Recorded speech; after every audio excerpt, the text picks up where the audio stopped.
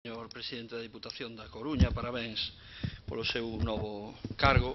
Eh, daríalle os parabéns moito máis efusivamente se si vostede fose escollido democráticamente e o votaran para ser Presidente da Diputación. Esa é unha das críticas que sempre lle facemos veña un presidente do PP ou do PSOE aquí eh, que ten este eh, organismo. Suscribo tamén eh, moito do que dixo o voceiro do, do BNG a este respecto. Non?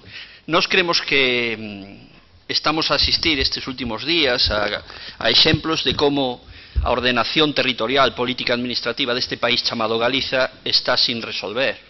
As áreas metropolitanas, aos consorcios, a prestación de servicios nunha escala supramunicipal, isto é unha auténtica eh, asignatura pendente por resolver e que queremos nos resolver dende aquí, dende Galiza, democráticamente e co, coas eh, decisións tomadas dende aquí e non dende o goberno central. Nós cremos que o Estatuto de Galicia eh, dá competencias a, a este país para ordenarse, para organizarse en comarcas, organizarse en áreas metropolitanas e resolver dunha vez por todas eficientemente a xestión e o reparto dos recursos. Por lo tanto, nós tamén eh, abogamos pola desaparición das deputacións evidentemente, cunha planificación de vida e a eh, organización deste país e o artellamento a través de outras estruturas eficientes para a prestación de servicios en común e para eh, unha mellor eh, eficiencia no, no gasto. Eh, unha das cuestións que tamén abordarei será a transparencia, a objetividade e a igualdade de, de condicións no acceso ás axudas e ás subvencións da Diputación. Antes tamén, eh, esquecíame, felicitado na intervención porque a verdad que tuvo pouco de demagoxia, pouco de discurso e moito de información, aínda que teño bastantes ou algún desacordo co seu discurso, pero agradecese neste Parlamento escoitar unha intervención baseada nos datos e nos argumentos, aínda que non, non, se, non se concorde con eles. Ben, nós creemos que ademais as diputacións son eh, un, un instrumento de reparto eh, de fondos cara aos concellos moi ineficiente, eh, moi ineficiente e os números falan por si, por si mesmos, os gastos de funcionamento e de persoal que necesita este instrumento que basicamente é un repartidor de, eh, de fondos son elevadísimos, polo tanto a ineficiencia, a opacidade, a, a non escolla democrática dos seus órganos son a principal crítica.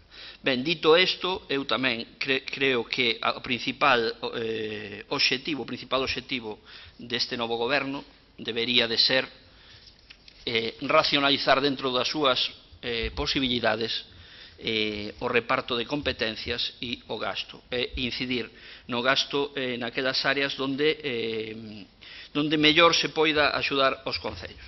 Non ten sentido que aquí na clasificación de programas de gasto vexamos eh, partidas en educación, 5 millóns de euros, eh, en agricultura, gandeiría e pesca, 3 millóns de euros, etc. ¿no? Isto eh, debería de estar eh, non a cargo eh, da Deputación Provincial, eh, debería de estar eh, a cargo, evidentemente, da, da, da Xunta de Galicia e eh, en outros organismos eh, supramunicipais, pero non na Deputación. É un sinsentido, non?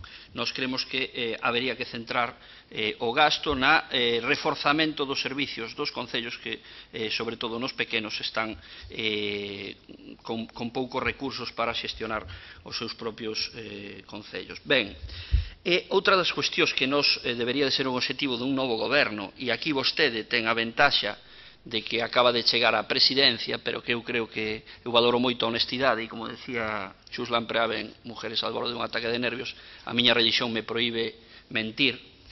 Eh, eu teño aquí unha, un escrito asado contencioso administrativo eh, dunhos concellos que impugnaron un acordo da, do Pleno da Diputación Provincial da Coruña do 26 de decembro de 2013 que aprobaron eh, os expedientes de modificación de créditos que habilitaban créditos por importe de 9 millóns de euros para financiar convenios de subvencións nominativas de actuacións de 65 concellos e 2.859.000 para convenios e subvencións nominativas noutros 24 concellos.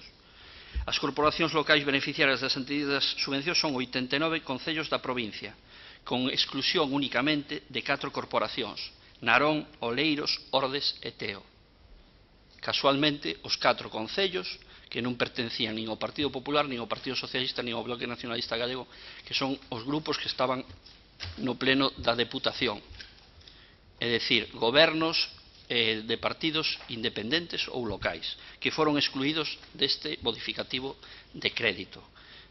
É evidente que vostede acaba de chegar á presidencia, pero o que é certo que tamén esta denuncia non foi presentada por ningún grupo da oposición naquel momento. Foi presentada precisamente por os concellos que foron discriminados gravemente e eu quero saber que, que opinión lle merece isto e se evidentemente isto para vostede é unha cuestión a rectificar porque nós cremos que é evidente que nas deputacións eh, houbo cuestións mellorables, pero aí eu creo que tamén as responsabilidades están, están compartidas e, e evidentemente a vostede como presidente recén electo eh, permitiremos o propósito de enmenda e despois xulgaremos tamén cos feitos. Polo de agora os feitos eran estes. Os feitos eran estes, é dicir, os concellos que non tiñan a sorte os veciños e veciñas de ter un goberno eh, que, que fose destas tres forzas, pois estaban discriminados no reparto de fondos. Por lo tanto, quería un comentario acerca, acerca desto. Despois, unha cuestión que me sorprende é que eh, cando fala vostede, empezou a falar do orzamento, eh, que vostede do Partido Socialista asuma o discurso eh, da, de que non se pode, dix, eh, anotei textualmente, non se pode gastar o que non se ten.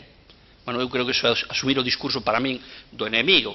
Aquí os que eh, gastaron o que non tiñan eran outros e os que tiñan, os que tiñan pouco te, temos que pagar os dispendios de outros. E a lei, as leis de estabilidade orzamentarias non foron feitas máis que para rescatar a aqueles que nos anos de bonanza sí que viviron por enriba das posibilidades os bancos, os ratos, etc. E entón, os que agora temos que gastar menos eh, son ao 99% da poboación para pagarlle a unhos poucos as, os seus, as súas estafas, as súas eh, políticas que sí que vivían por enriba das súas posibilidades, etc. Por tanto, eu exhorto a que non utilice eh, unha cuestión que é falsa, a crise eh, e da débeda non é produto do dispendio das administracións públicas, senón da socialización da débeda privada de unhos poucos.